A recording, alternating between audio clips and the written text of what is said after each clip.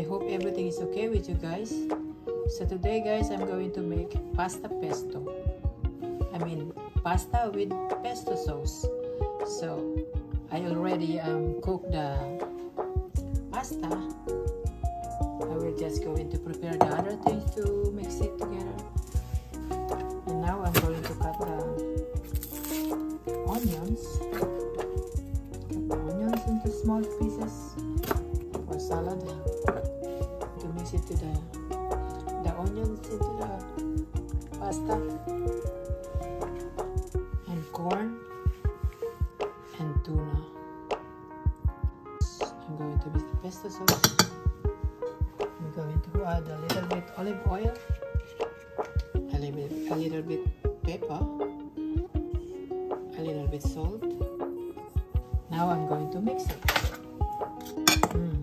Looks yummy. I love pesto. The green onions. Mix it again to observe the taste. And yeah, very easy to make. And very good for the person who doesn't have time to cook.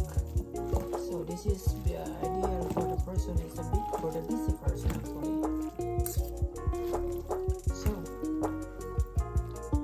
guys it's done. Ready to serve. Thank you for watching.